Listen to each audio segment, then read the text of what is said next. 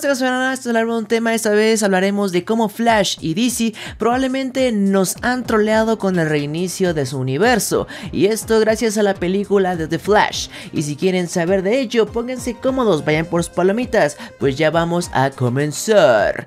Pero por supuesto, este video contiene spoilers, así que si no han visto la película, les recomiendo ir a verla y después regresar, los mantendré al mínimo para no spoilear, pero aún así están advertidos. Además, este video también servirá un poquito para decir mi crítica de la película, así que no se preocupen, en los marcadores les pondré los tiempos por si quieren ir simplemente a la teoría de que no se reiniciará el universo de DC. Mientras tanto, comencemos con lo bueno, lo malo y si vale la pena la película. Y comencemos con la calificación, como siempre es un sólido 8 de 10. La verdad es que la película está bastante buena, cumple con lo prometido y el hype que se hizo alrededor de ella probablemente se cumplió. Por lo que no te preocupes, no saldrás decepcionado de la sala de cine porque la película es bastante buena. Así que vamos a ver cuáles son los puntos buenos y los puntos malos. Probablemente uno de los puntos malos y del por qué baja tanta calificación ya lo hayas visto por ahí en el internet y es que el CGI quedó bastante a qué de ver. Hay CGI de bebés que se ven horribles, parecen figuras de PlayStation 2. Hay momentos en donde Flash corre o están haciendo ciertos movimientos que la verdad se ven muy pero muy mal. Que los detalles en las naves, sobre todo en las de Batman o en las de los kryptonianos, simplemente dejaron el primer render que tenían y lo dejaron hasta ahí. Muchos están especulando que fue por los problemas con Ezra Miller y la ley que realmente no se le dio la importancia a pulir estos detalles, pero siendo una película tan importante para el universo de DC y que ya le invertiste tanto dinero, me parece realmente una falta de respeto que estén entregando estos efectos de CGI que bueno, desde la Justice League venían trabajándose de esta manera. Esperemos que en futuras entregas realmente le pongan importancia porque sí, los efectos te arruinan un poquillo la experiencia.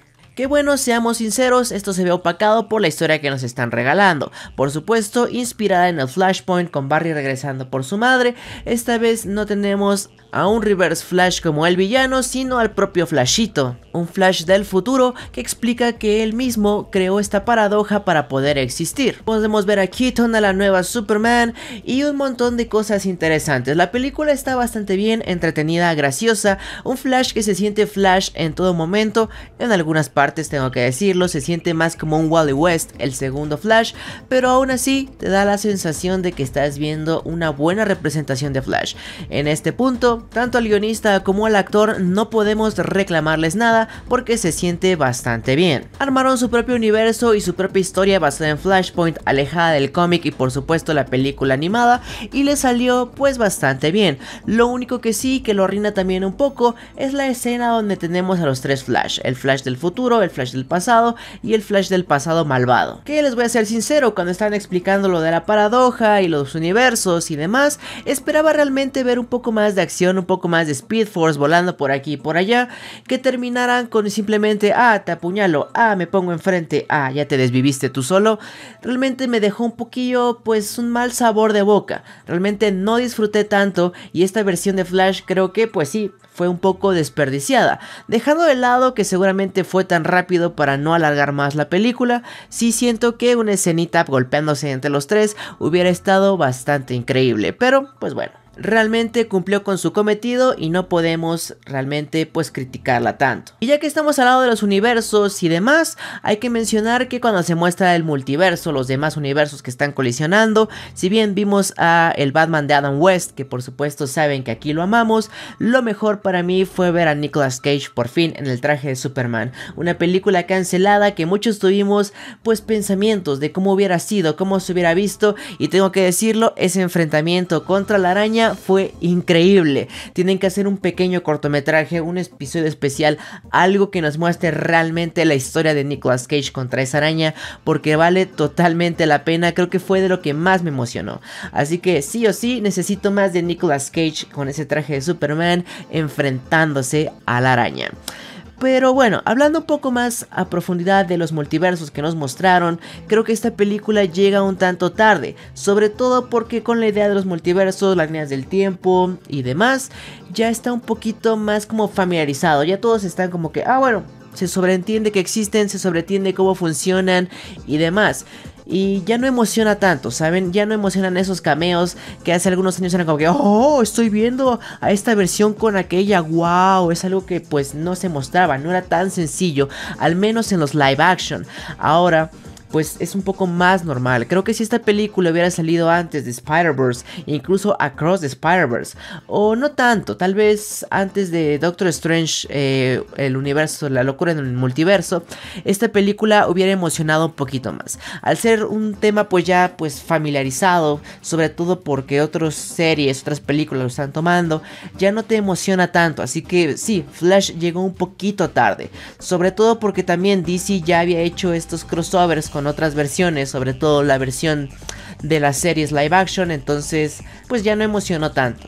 Aún así, repito, Nicolas Cage increíble en ese traje de Superman.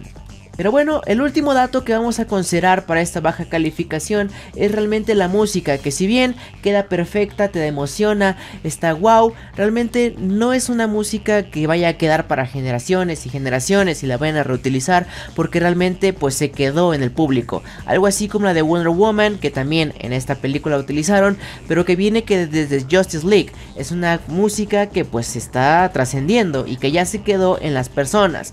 En el caso de Flash, si no fuera por ella no tendríamos otra música que recordar. Entonces en cuanto al soundtrack realmente queda debiendo un poquito, no porque no embone, como ya lo dije, queda bastante bien, pero no hay una que sea realmente inolvidable. Pero bueno, en general la película es muy buena, Trata como dije bastante bien a los personajes, les da su momento en cámara, Batman queda luciéndose, no importa en qué universo, en qué momento esté, queda increíble, 10 de 10. Michael Keaton de nuevo mostrando por qué es de lo mejor, aunque por ahí seguramente algunas personas estarán como que... Oye, ¿por qué, ¿por qué sonríe tanto ese Batman? Ese no me gusta, Batman debe ser serio, oscuro. Ah, por favor, es Michael Keaton. Es Michael Keaton, es Bruce Wayne disfrutando ser Batman, regresando después de tanto tiempo, ser ese héroe, regresando a ser quien realmente es. Es por eso que pues hay tantas sonrisas de parte de Michael Keaton, porque lo está disfrutando. Así que yo lo tomé como un The Dark Knight Returns, donde de nuevo está poniéndose el traje y lo está disfrutando. Es por eso que yo no me quejo de que esté sonriendo, se ve increíble, se ve incluso que puede pues meter miedo con esa sonrisa. Así que 10 de 10 en esa parte, la historia se estuvo armando muy bien, los momentos emotivos si te parten un poquito el corazón, estuvo bastante bien ejecutado todo, las escenas de acción increíbles, las escenas de Flash corriendo rápido también tenían algo de gracia, algo de bromitas, entonces nada que quejarse. Flash es simplemente una muy buena película, vale totalmente la pena. Pero ahora sí, ya llegó el momento que estaban esperando, el momento de la teoría de si realmente habrá o no habrá pues un reinicio, si sí habrá un flashpoint, si esto fue una crisis en tierras infinitas por las tierras chocando, que realmente va a ser eh, la consecuencia que nos traerá la película de Flash y es aquí donde entra esta pequeña teoría que me estuve planteando. Si bien cuando Flash viaja hacia este nuevo universo se encuentra con su madre, una versión más joven de él, realmente cuál es el punto de todo ello, mostrarnos que había otra línea temporal y por lo tanto una línea o un universo separados. Mostrarnos que en este universo Cyborg aún no es Cyborg, que Aquaman nunca nació, que esa parte es muy importante, y por supuesto que el Bruce Wayne que él conoce no es la misma persona, diciéndonos que pues está en otro lugar, no es o no regresó a su futuro. Que por supuesto si tenían dudas y les quedó, ¿por qué cuando el Flash malvado mata al Flash del pasado, por qué no se muere también Barry, o sea, el Flash que todos conocemos, el que está llevando la película? Entendámoslo como que eh, cuando matan al Flash del pasado, matan al Flash del futuro, pero de esa línea temporal. El Barry que todos conocemos, el que originó toda esta historia, pertenece a otra. Entonces a él no le afecta que se mueran estas versiones alternativas porque él no pertenece ahí. Y con esto entendido podemos decir que toda esa historia pasa en un universo o una línea que no es la original.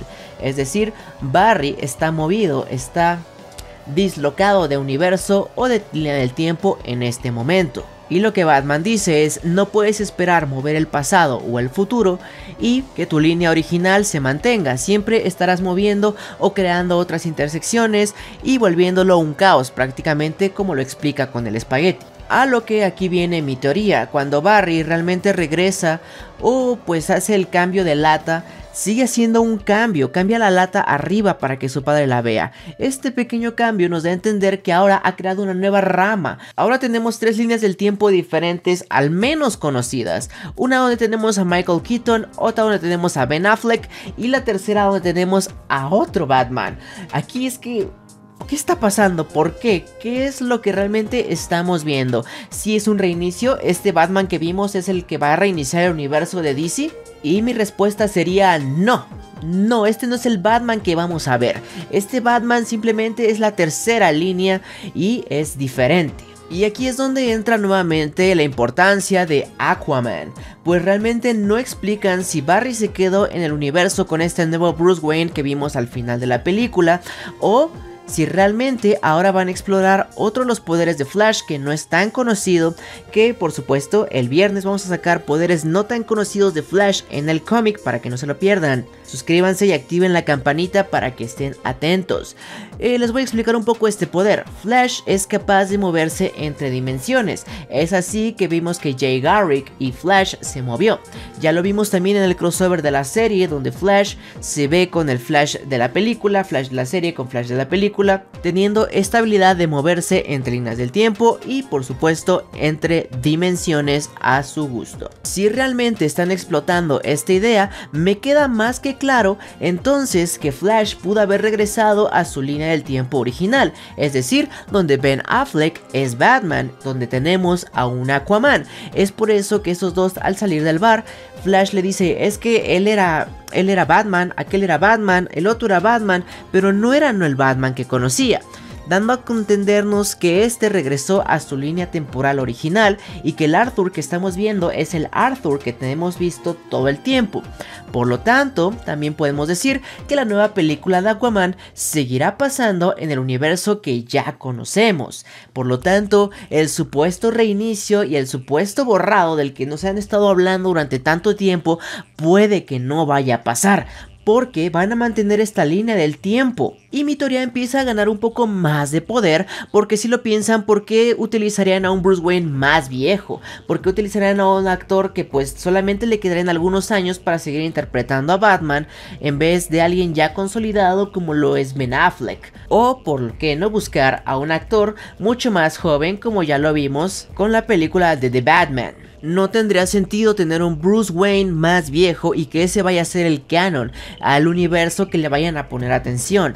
Lo que yo creo entonces es que vamos a seguir con Ben Affleck, vamos a seguir con el mismo Aquaman, pero que probablemente veamos ciertos cambios dentro de esta línea temporal gracias a los viajes de Barry. Y así poder justificar las cosas simplemente con, ah, es que Flash lo hizo.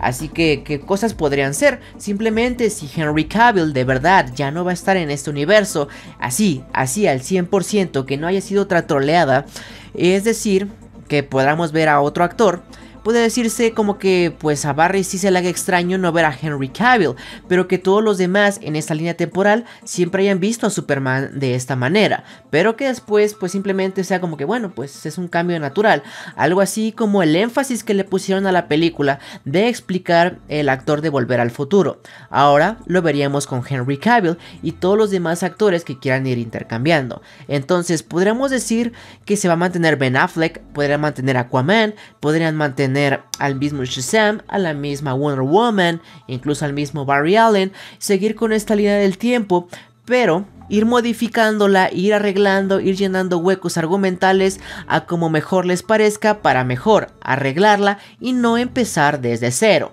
Sería una idea interesante, una idea pues que probablemente funcione mucho mejor a que reinicies desde cero y empieces desde la nada. Por eso que esta es mi teoría, de que realmente nos han estado troleando con un reinicio. No va a haber un reinicio como fue en New 52, no va a haber un reinicio, más bien esto va a ser más parecido a Doomsday Clock, a The Bottom, que va a servir más que nada para rellenar huecos argumentales, para hacer cambios en personajes y que estén justificados el por qué lo estén haciendo y los fans no estén preguntando cada 5 minutos el por qué. Simplemente, ah, es que es culpa de Flash. Hasta ahí. Así que pues argumentando sobre todo con este Bruce Wayne y este Aquaman, pues es donde le doy fundamento a mis teorías. Pero déjenme ustedes en los comentarios qué piensan acerca de ello. ¿Creen que realmente Flash se quedó en la tercera línea temporal, es decir, donde vemos este nuevo Bruce Wayne y también existe ahí este Aquaman? O que como dije, están explorando un poco su habilidad de viajar entre dimensiones, regresó a la segunda, o más bien a su dimensión original y que de aquí en adelante el buen James Gunn y compañía estarán armando aquí el universo. Dejen ustedes en los comentarios qué piensan, cuál es la respuesta, déjenmelo en los comentarios, seguimos argumentando, platicando y aumentando o destruyendo esta teoría, por supuesto que sí. Y no se olviden dejarme también su opinión acerca de la película The Flash y no se olviden suscribirse activar la campanita para que estén al contacto conmigo en todo momento. Y ahora sí, sin nada más que decir, después de esta crítica y después de esta teoría, se despide Calitox Banana. ¡Salud!